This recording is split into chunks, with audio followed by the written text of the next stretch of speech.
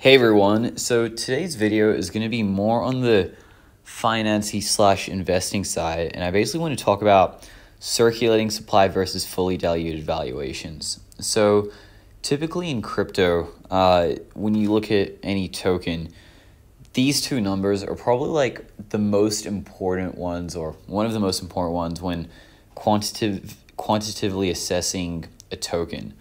So for this video, we're basically going to cover first like tokenomics 101. You probably may know a bit about this, but we'll go over it again.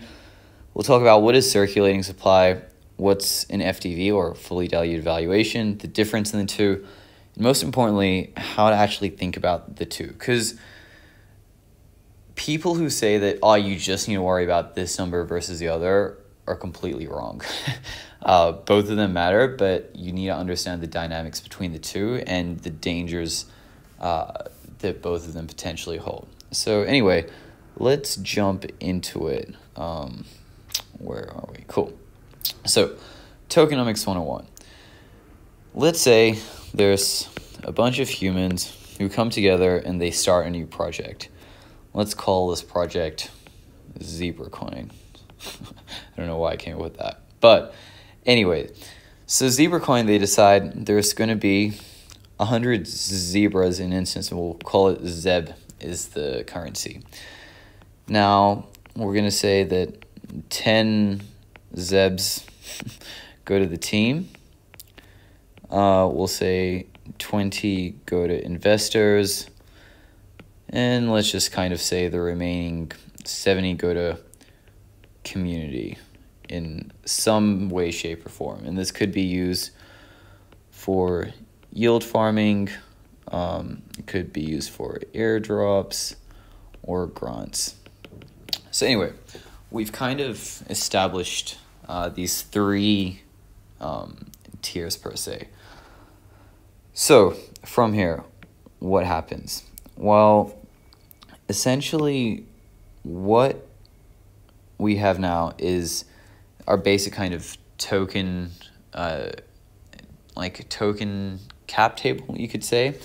So this kind of tells us like how each party is incentivized and by how much.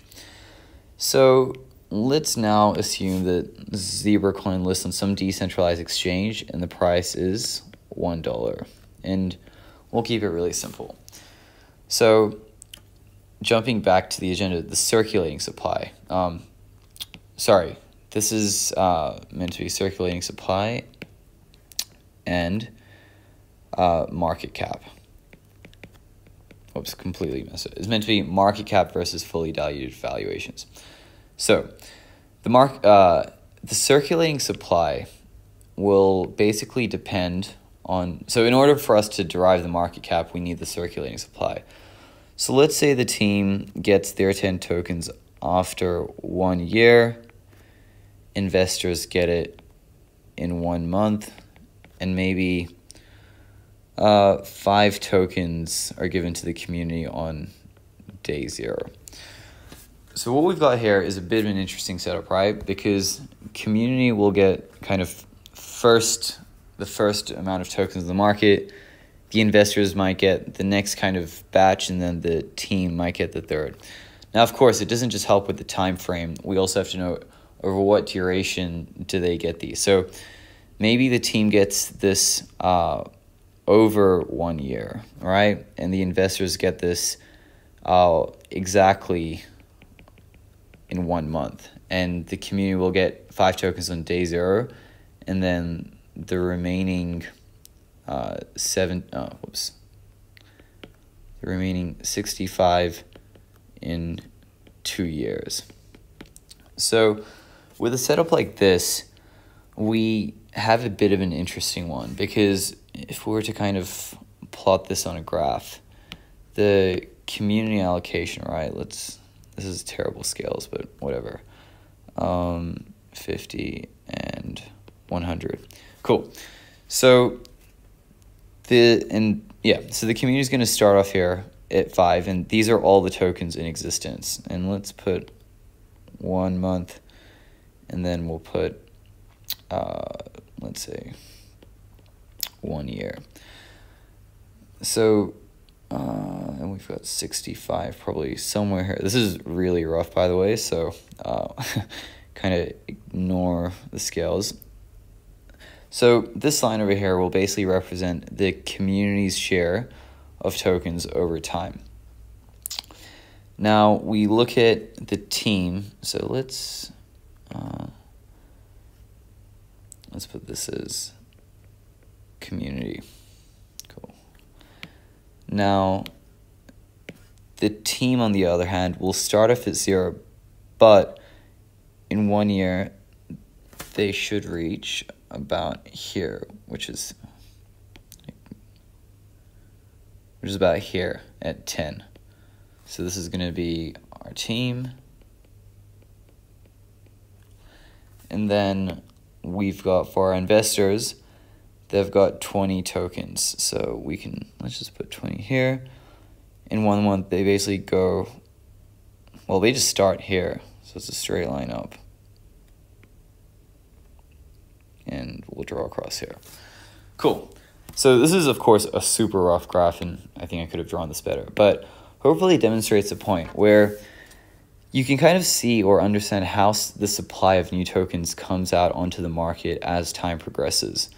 So what we kind of have here is an interesting situation because the nature of this uh, of this kind of graph shows the different parties are basically being capitalized at different points in time.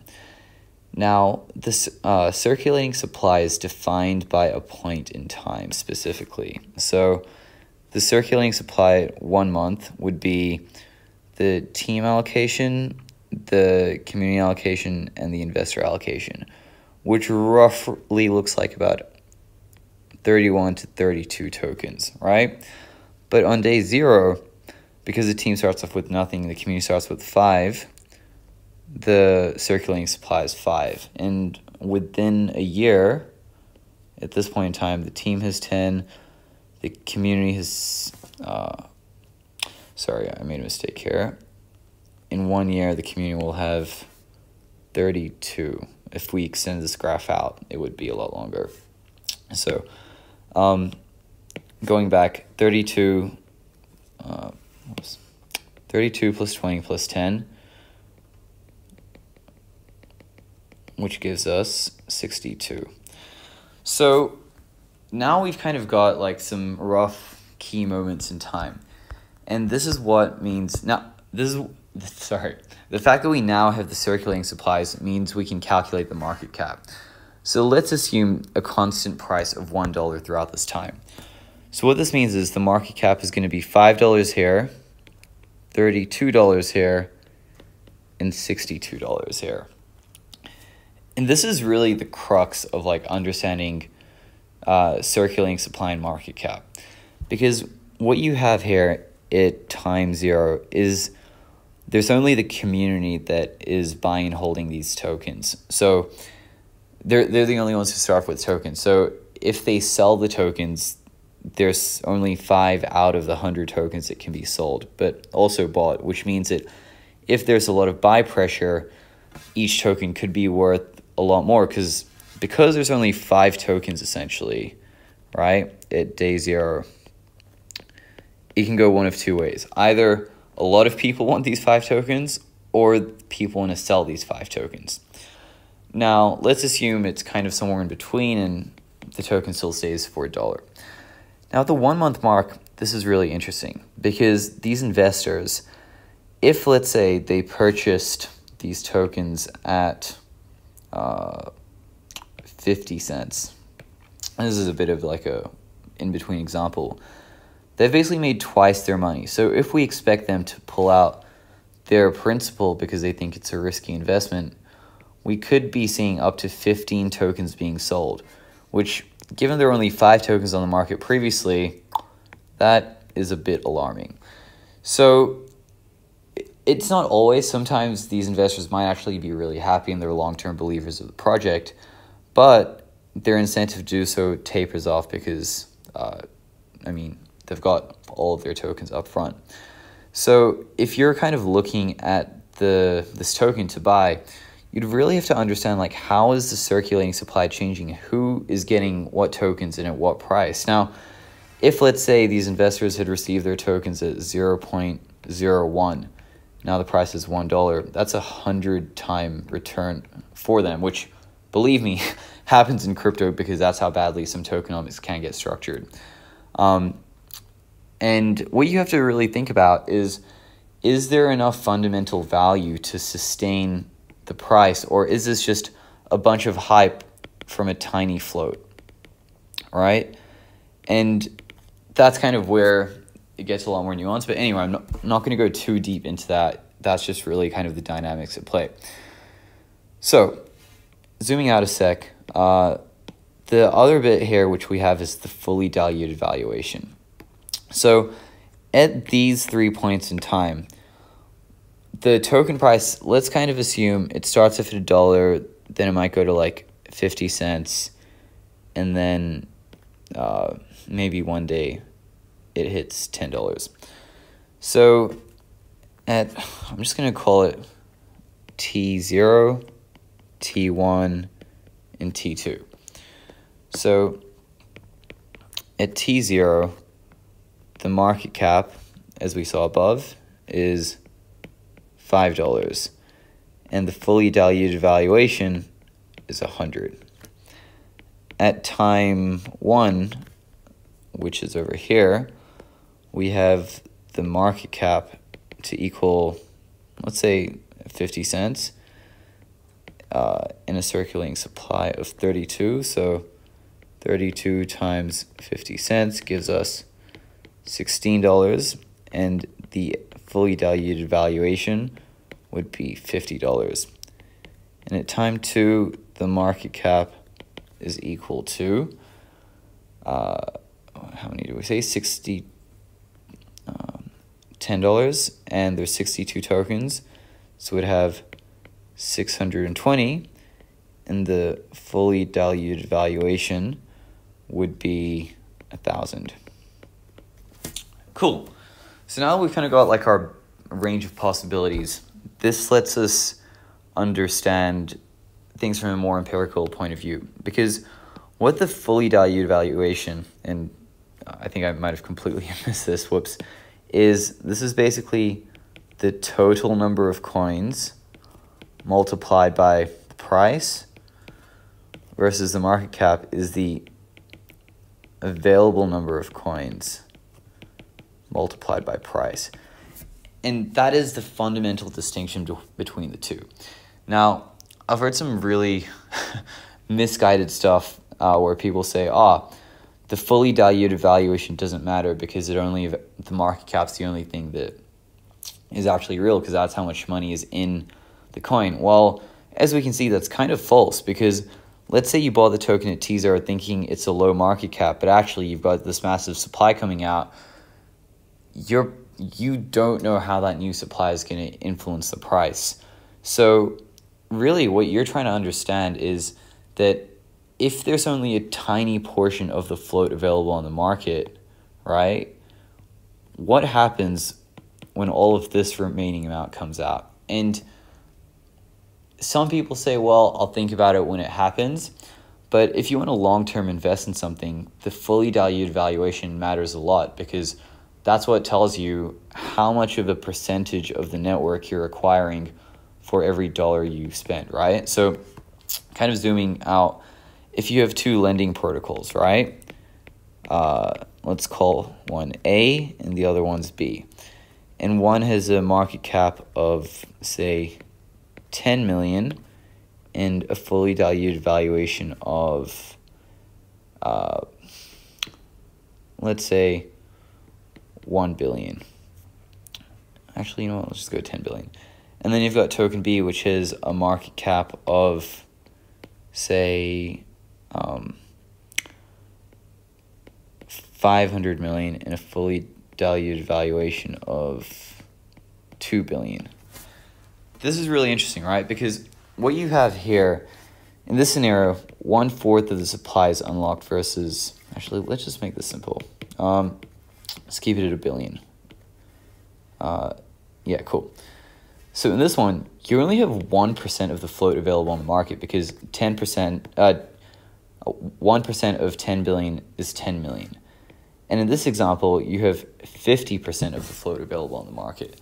So it's a really skewed equation because what you're saying is you don't know how the remaining uh, $9.9 billion of value is going to come out on the market. And in fact, this thing is worth 10 times more. But objectively, it's not because actually this thing has more money inside it because its market cap is a lot bigger and sustained. So, in some sense, you're kind of looking at the current versus the future potential. And the argument for investing in the first one for A is people say, well, there's only 10, the market cap is only 10 million. If another $10 million gets pumped into this, then cool, the price will basically 2x from here. So I can look at market cap ob- objectively and say, if the market cap pumps to say 500 million, I make a 50 times of my money. But that isn't really true because what you're saying at the same time is simultaneously is that if you expect this to 50x based on market cap, the fully diluted valuation would be 0.5 trillion, um, which is absurd. So this may sound like a crazy example, but I kid you not, there are tokens out there which will have insane uh, kind of numbers to them where like a lot of what you see nowadays is say a 100 million uh, market cap token with the fully diluted valuation being like $3 billion. And what you have to realize about private market, markets or professional investors, the only thing they care about is the fully diluted valuation. Everything else is completely full of shit. Because the FDV that private investors are looking at is typically within the range of 10 million to 100 million, sometimes on the higher side. I mean, sometimes you get some crazy stuff at 200, but whatever. So, if this new token comes out on the market and the market cap is say 100 million and its FDV is 3 billion and private investors bought at say a 50 million FDV because that's the only thing they care about because they're actually very astute. They've got essentially a simple uh, 60x on their money. and that's what kind of people sometimes forget about fully diluted valuations. If you're retail or you're kind of playing on a liquid market sense, all you're looking is how much more money can come into this. And once more money comes into this, I can get out, take my money, and flip. And if that's your strategy, looking at market cap is actually not a bad idea. But if you're looking at this from a 10 year perspective, the fully diluted valuation is like extremely critical because otherwise you're buying something where people who acquired it a lot cheaper than you can sell on you, which will basically depress prices. And given liquidity in crypto can always be thin or and it can be fleeting, um, you're in really dangerous territory. So to kind of recap it, um, when you have a new token, you'll kind of have the token set up with the different parties in, over different time horizons, understanding how that plays out over time, the incentives of all the different parties then understanding the market cap as time progresses with the fully di- diluted valuation is extremely important because otherwise um, you're entering yourself into a game where you could be essentially the, the loser in some senses. So, all that to say, um, you have to know what sort of time frame you're playing on here, and based on that, decide whether you care about market cap or you don't. I'm personally more traditional and I care about fully diluted valuation because I want to know for every dollar I put in how what percentage of the network do I own. And if my one dollar is getting me something absurdly tiny, um, because the fully diluted value, full FDV is really insane, then I'm out. Whereas if I was a trader, and I saw something that had a low market cap, then I could say, cool, as long as this doubles, I'll exit and I'm done. So I guess it really comes down to like, are you a trader or investor? Traders care about market cap, investors care about fully diluted valuations. And yeah, that's really about it. I hope you found this video useful. If you like stuff like this, let me know. I'll post more of it. Um, I could ramble about this stuff for days. Thanks, everyone, and look forward to hearing your feedback on this. Bye.